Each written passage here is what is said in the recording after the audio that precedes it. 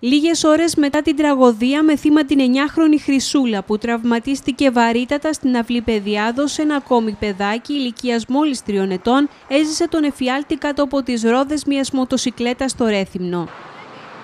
Το ατύχημα σημειώθηκε το απόγευμα στο χώρο της Μαρίνας, όταν το μοτοποδήλατο που οδηγούσε ένας 62χρονος παρέσυρε το κοριτσάκι και το τραυμάτισε σοβαρά. Λίγη ώρα μετά τη μεταφορά του στο νοσοκομείο Ρεθύμνου κρίθηκε απαραίτητη η διακομιδή του στην παιδοχειρουργική κλινική του Παγνή, όπου νοσηλεύεται σε σταθερή και ελεγχόμενη κατάσταση. Ο οδηγός του μοτοποδηλάτου, ο οποίος όπως διαπιστώθηκε δεν είχε καν δίπλωμα, συνελήφθη και οδηγήθηκε στον εισαγγελέα.